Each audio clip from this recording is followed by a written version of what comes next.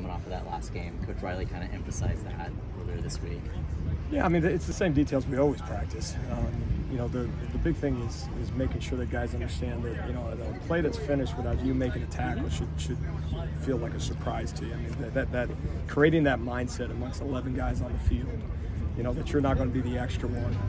Um, there's some frustrating moments. You know, you get the ball completed in front of you, and then it turns into an explosive play against you. Well, that, that's obviously bad ball, and so we got to make sure that our anticipation, if we're in zone coverage or, or man coverage, uh, that as we say, our spot's a starting point. If I drop into a spot, that's just that's not where I finish the play.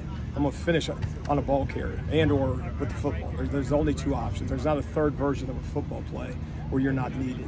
Uh, and so we, we just got to make sure that, that you know every, every single snap that we take um, that, that there's a an approach about us that says we have to make a play on that down. The ball should never surprise us. Whether it's thrown in my man, whether it's thrown in my zone, uh, or if I'm needed in the run game in, in, a particular gap. So no, the, the emphasis doesn't change.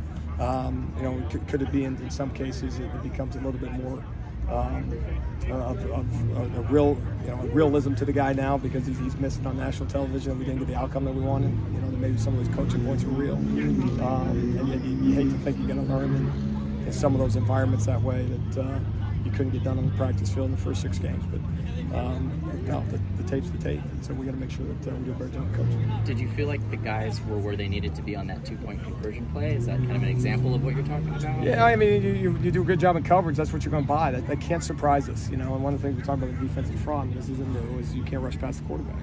So that's part of it. You know, so you got to decide you're going to cover people or not cover people. and mean, you cover and do a nice job that way, and then you got someone. Then, then once he obviously breaks uh, the line of scrimmage, then it's all hands on deck. Eleven guys going to it. And, uh, missed an opportunity there, you know. And uh, obviously a good, good player quarterback. And it's three yards, so you know if, if he's got a clean path there, you try to cover the front so he can't you know get vertical on you as fast as he was able to. So a lot of things to, to learn from that.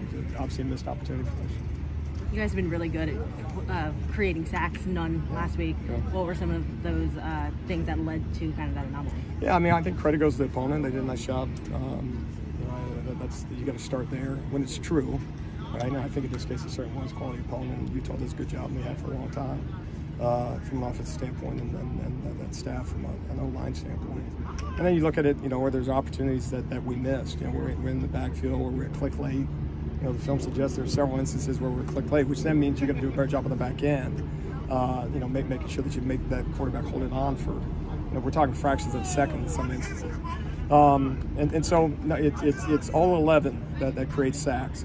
Um, you know, and, and, that's obviously not the 100% truism. You know, some sometimes it's just a singular effort and he gets home. But you know, so often it's it's the extra effort on the front because you did such well a good job on the back end. In some of those instances, you know, the ball, the ball comes out quick, and if the ball comes out quick, we got to do a good job getting it tackled and uh, on the next play. So, um, no, it's a combination of those things. We, we got to do a better job in coverage. To, to, to, make the uh, the quarterback hold on to the football. And we got to make sure that we're winning some one-on-ones, and we can't be okay just saying, "Oh shucks, we're close."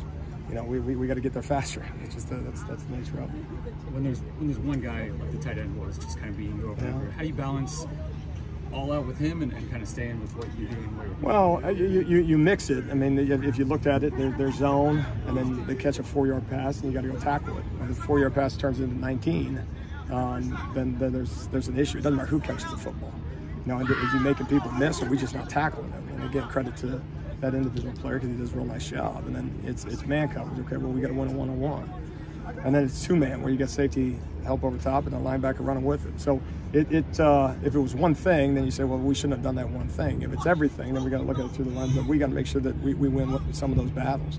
Uh, and some of that again, let's go back to, to the 11 man football. Is we got to get home.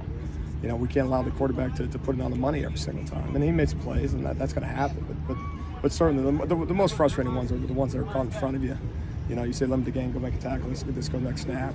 Um, and, and, and now it's first and 10 and it's it's 20 yards upfield. So that can't happen. You can't play good defense that way. And, and we understand that, and, and unfortunately we put it on tape, and, and, and we got the result uh, we got because of it. How have the guys done handling all those points this week? Like, how's it looked this week in terms of what you No, I think good. I mean, you know, what you can't do is you can't take 60, you know, whatever, 70 some odd odd reps on, on, on Saturday and then say all the reps the six days before didn't happen. That's just not the appropriate thing to do. However, we do believe in one game evaluations. Okay, just stick to was it good enough? No. Thumbs down. You know, what, what was the coverage good enough? No. Was the pass rush good enough? No.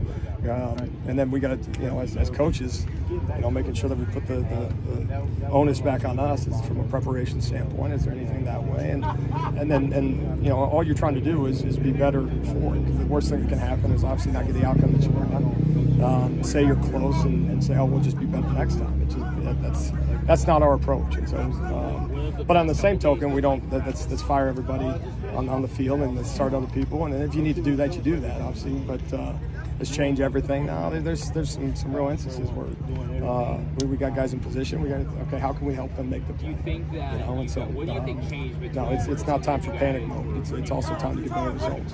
Let's do one more. Did anything change for you post game, like watching film? Did you watch film earlier after a tough loss Yeah. like that, or Yeah. did anything change? Immediately. Yeah, okay. um, and they get us on our iPad, and now you're, you're and within the 10 minutes, got a thing on your iPad, you're watching that thing on the bus. It just because it stings, it burns, and you work your, your tail off, and these guys do, um, and, and the coaching staff does, and we understand the expectations of USC.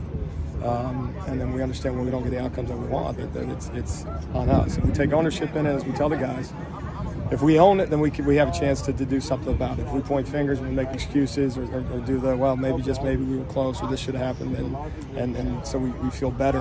We don't feel good right now. We don't. And then uh, I guess the double-edged sword of a bye week is we don't have to feel good yet. We don't have to flip the script. We're not over. it. We're competitors. That's just the way it is. But, um, but yeah, to your point, that that. Uh, but guess what? On the bus, it's too late. You know, um, and so you uh, lick your wounds and uh, on to the next one. Thank you, All right. Thank